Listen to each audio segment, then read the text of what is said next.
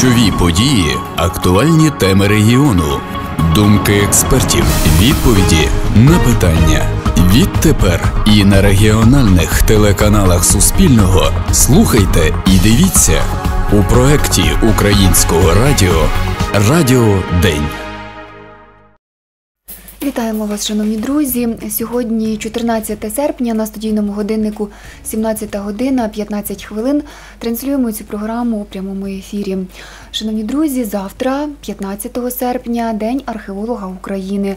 І у цій програмі ми поговоримо про те, які археологічні об'єкти досліджують у рамках археологічного сезону 2020 року у Миколаївській області, якими є перспективи музеїфікації археологічної пам'ятки городище Дикий сад, які заходи відбудуться в Миколаєві з нагоди Дня археолога України, які нові знахідки з городища Дикий сад можна нині побачити в експозиції Миколаївського обласного краєзнавчого музею.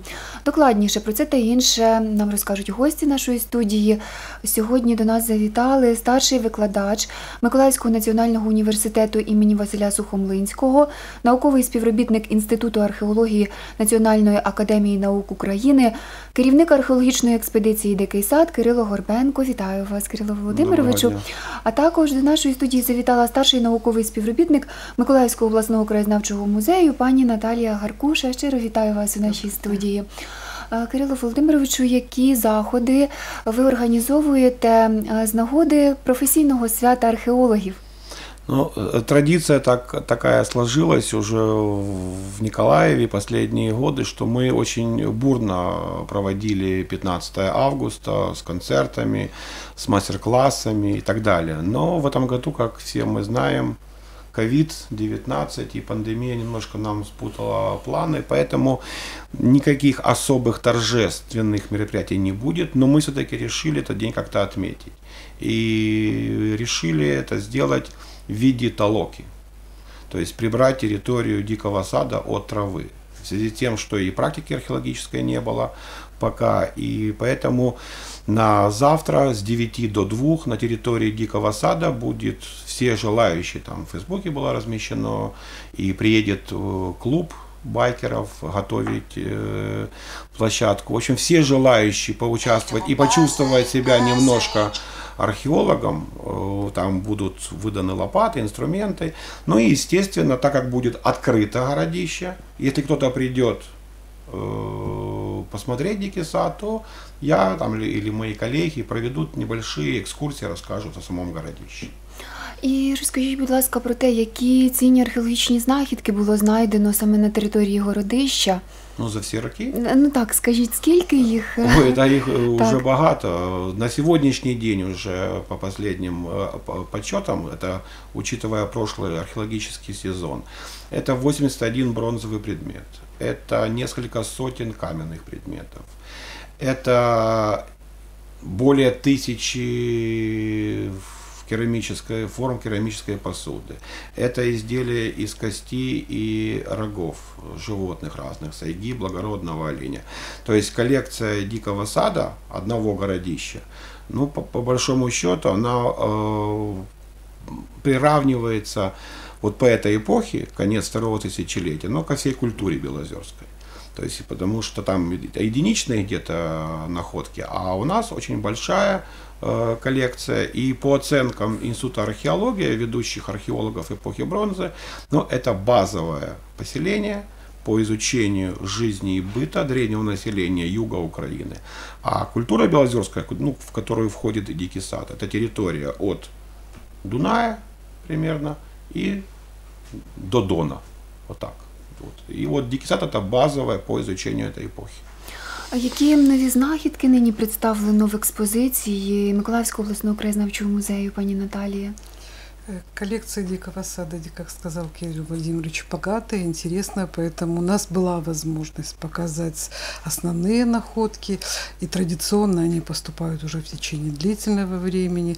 Еще когда музей был на нашей старой территории по улице Декабристов, у нас последняя выставка была посвящена находкам Дикого сада, поэтому когда музей в 2012 году переехал на новую территорию, раздел, касающийся городища Дикий сад, э, действительно достаточно достаточно большой и много интересных предметов керамических, и из бронзы, и из других материалов. Ну а в этом году, в течение летнего сезона, в музее работает программа «Выставка одного предмета». Мы уже показывали античные предметы, и ко дню археолога решили показать находки из дикого сада. Это два интереснейших серпа, один бронзовый, другой кремневый. Наш художник позволил себе сделать реконструкцию. Кирилл Владимирович еще пока не видел этого нового раздела. И кроме этого показали интересную лепную форму, интересное изделие, которое прошло реставрацию. И тоже вот буквально в ближайшие дни посетители будут иметь возможность посмотреть эти вещи. И кроме этого мы еще поддерживаем идеи музеификации, дальнейшего развития памятника, финансирования работ, поскольку памятник действительно уникальный, интересный, на сегодняшний день монографически исследованный, поэтому в любом случае всегда новые находки найдут место в целом в коллекции музея, в фондах хранилищах и обязательно в экспозиции.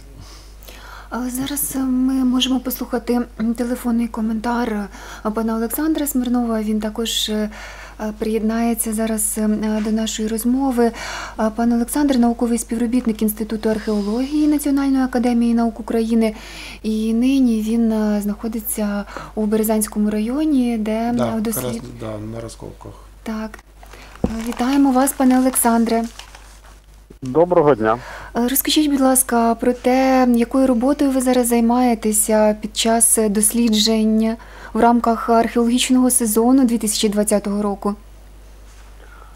Ну, зараз ми досліджуємо одне з е, багатьох е, пам'яток Ольвійської хори. Це на території Березанського району біля села Вікторівка. Ми досліджуємо залишки поселення архаїчного, можливо, класичного та еліністичного часу, багатошарове поселення Вікторівська 1 в рамках роботи охоронно-археологічної служби Національної академії наук України та разом з Миколаївським обласним центром туризму, е, краєзнавства та патріотичного виховання молоді і студентів Миколаївського національного університету імені Сухомлинського. Досліджуємо зараз зольне нашарування ритуальне, яке вже третє за останні п'ять років на цієї пам'ятки, мабуть, таке таке невеличке святилище Львівської хори. Ми працюємо з дітьми, навчаємо їх в польових умовах та в умовах та археологічному досвіду практичному. І якісь, можливо, вже нові знахідки ви знайшли в рамках роботи? Ну, нові знахідки, мабуть, стосуються в першу чергу датування цих ритуальних нашарувань.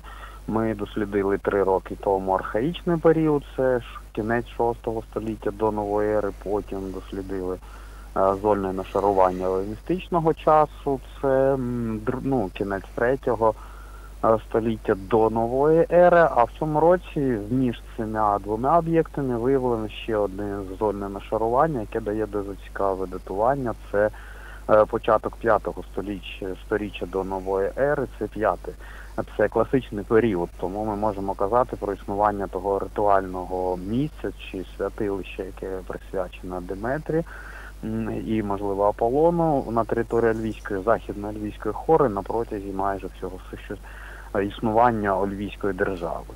З індивідуальних знахідок, ну мало що, мало що ми знайшли в цьому році, ну ще роботи тривають. Це пов'язано з великими обсягами грабіжницьких робіт на об'єктах. Ми майже тиждень ну, приводили до ладу ті, о, ту територію, на якій потрібно проводити дослідження. Це, на жаль, тільки в цьому році, і в цьому році, зокрема, ми стикаємось з тим, що ми не можемо повноцінно проводити археологічні дослідження в полі на весь період часу наших робіт. Ми леву частину часу тратимо на те, щоб поприбирати після грабіжників, можна так висловитися. Але вже є знахідки львівських монет, нумізматичний матеріал, є знахідки зброї, є знахідки дуже цікаві знахідки керамічного матеріалу.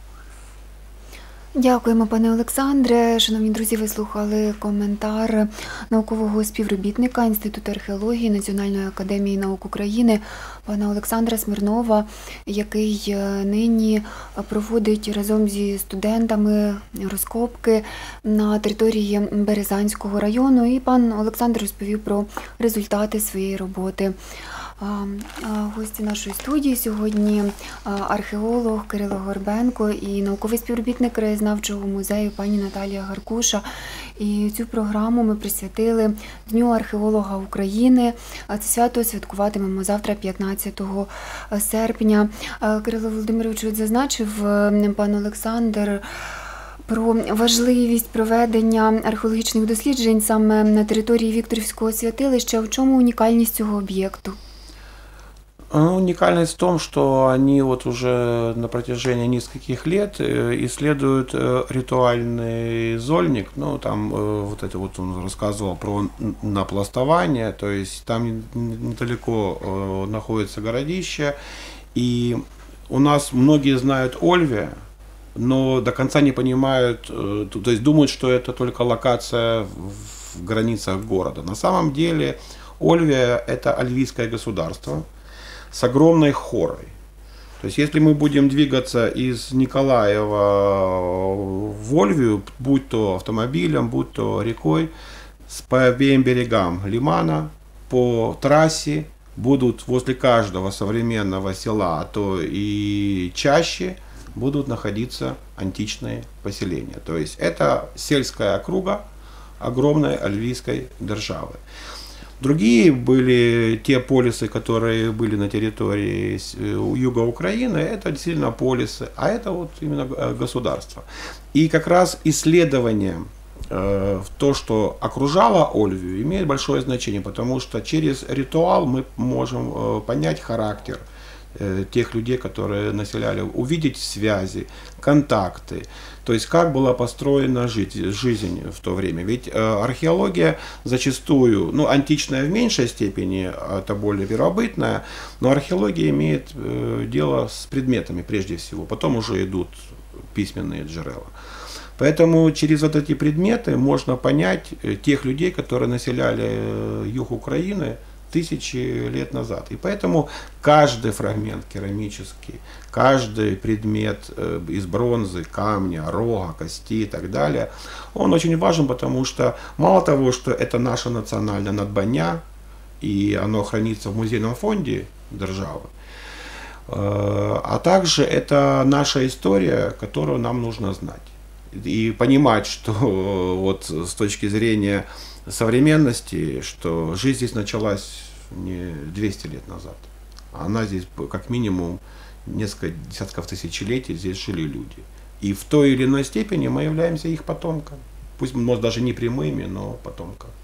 Наголосив археолог Олександр Смирнов, що чимало грабіж, чимало розграбували грабіжники е, цей об'єкт, е, і що можна зробити, щоб захиститися, на вашу думку?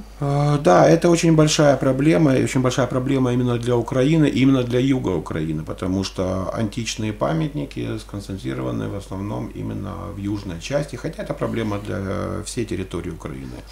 Объекты древности уничтожаются либо наследок сельхозработ, либо как в основном это грабеж. По сути дела, то, что делают так называемые черные археологи, хотя их археологами назвать нельзя, это просто грабители, они лишают э, нас э, нашей истории.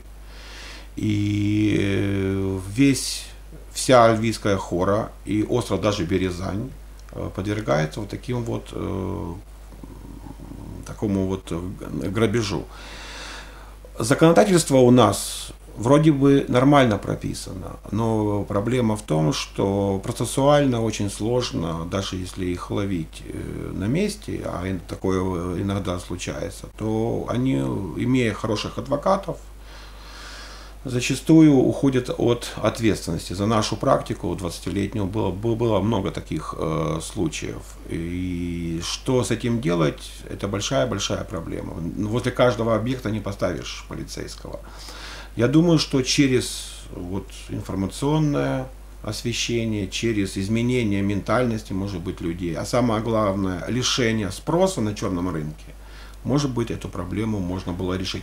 В Израиле очень жесткое законодательство в этом отношении. И в европейских странах очень жесткое законодательство. Еще жестче даже, чем у нас.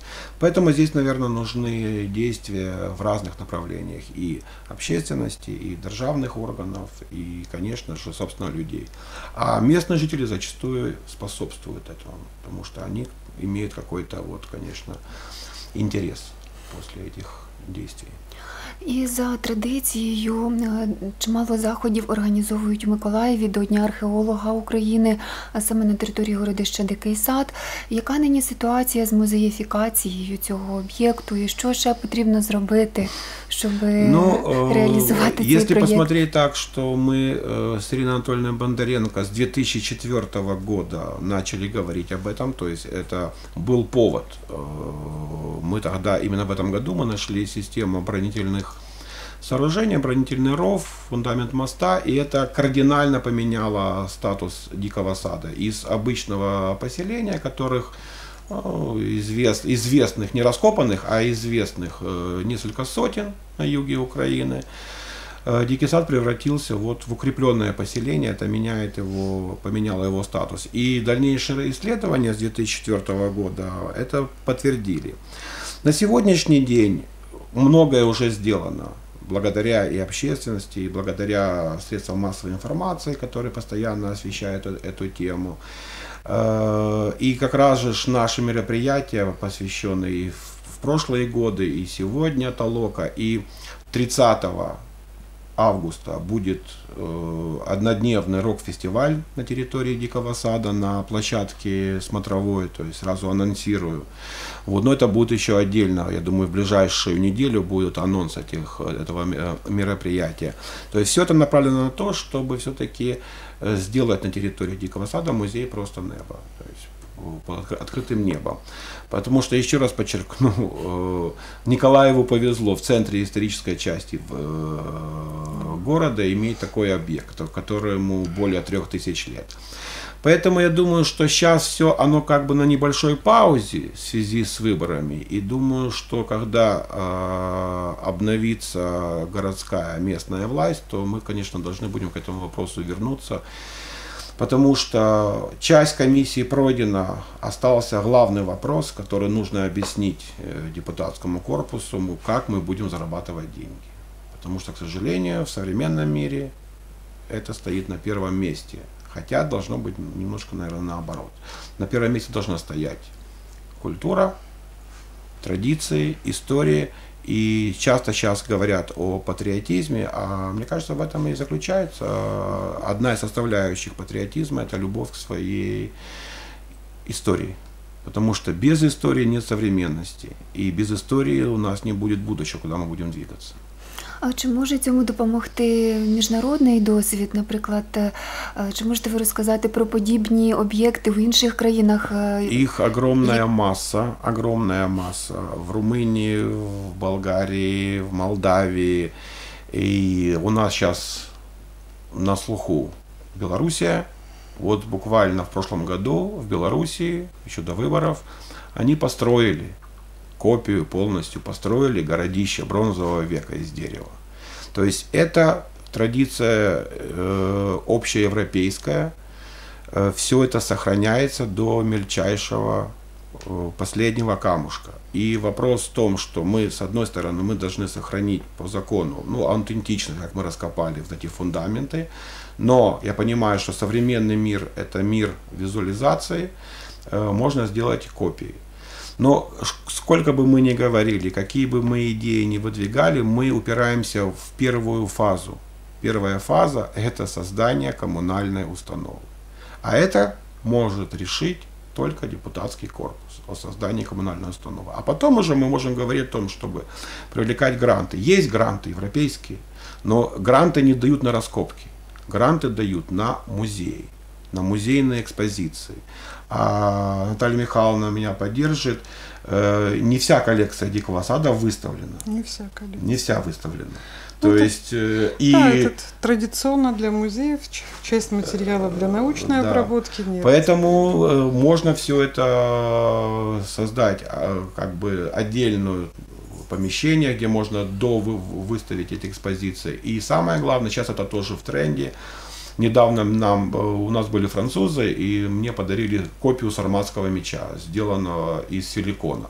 То есть это практикуется. Вещи хранятся в музее, они должны быть под сохранностью, а на э, скансене, это в Европе называется скансены, э, делаются копии. То есть можно не просто увидеть остатки фундаментов зданий и рассказ из курсовода, а можно построить копию жилищ, наполнить их внутренним интерьером, и это было бы визуально очень э, смотрибельно. И как сегодня говорят, что это в Европе это тренды. То есть все культуры, которые можем, можем себе представить, начиная от общеизвестного Стоунхенджа, ну, Стоунхендж, это просто кольца камней. Причем многие думают, что их так раскопали. Нет, они все лежали. Это их подня... это реконструкция. То есть они примерно предположили сто лет назад, когда раскапывали, э, чуть меньше, что они могли быть вот так. И это просто камни. И это бренд, потому что главное, что вокруг, как это. А Дикому саду повезло, потому что вся инфраструктура, вся логистика, она уже создана. Не надо вести за город, то есть вот гостиницы есть, рестораны есть, дороги есть, пожалуйста. И поэтому маршруты у меня уже в этом году даже приехали э, из города Днепр три женщины. Одна из них э, побывала на памятниках ар- археологических от Гималаев до Испании. У нее был дикий восторг. То есть мы не хуже, чем Троя, и я на- называю только брендовые, да, чем Рим древний, чем Стоунхендж или испанские города. Просто нужно немножко создать и- и во- вокруг э, тот антураж, чтобы это было более э, визуально. И это не так уж, как кажется, много стоит финансов. То есть это можно сделать. А Дикий сад уже знает, потому что у меня за последние, вот как три года нас финансировал э, это управление культуры через вот, бюджет, то у меня побывали из, из Китая гости, из Германии, из Польши, из э, Румынии, из э, Франции, Италии. И все были в восторге и недоумевали, как так, иметь такое, чтобы привлекать туристов и не сделать э, это более вот в таком вот уже более смотрибельном виде, то было очень много удивлений. Поэтому это традиция европейская, и это не на словах Европа, а на деле. Дякую, Кирило Володимировичу. Е, Шановні друзі, е, цю програму ми присвятили Дню археолога України, який е, святкуватимуть. Завтра, 15 серпня, до нашої студії е, сьогодні завітали старший викладач Миколаївського національного університету імені Василя Сухомлинського, науковий співробітник Інституту археології Національної академії наук України, керівник археологічної експедиції Дикий сад Кирило Хорбенко, а також е, гостею студії була старший науковий співробітник Миколаївського обласного краєзнавчого музею пані Наталя Гаркуша. Е, І у цій програмі е, гості нашої студії, зокрема, говорили про те, е, які об'єкти нині, археологічні об'єкти нині досліджують на території Миколаївської області у рамках археологічного сезону 2020 року. Говорили про результати цих досліджень, говорили про те, які нові археологічні об'єкти нині можна побачити в експозиції Миколаївського обласного краєзнавчого музею, і яка ситуація склалася з музеїфікацією городища Дикий сад, що у центрі Миколаєва. Дякую вам ще раз за розмову, шановні гості, шановні друзі. Дякуємо вам за увагу. На все добре, до наступних зустрічей в ефірі. Ключові події, актуальні теми регіону, думки експертів, відповіді на питання. Відтепер і на регіональних телеканалах Суспільного слухайте і дивіться у проєкті Українського радіо Радіо День.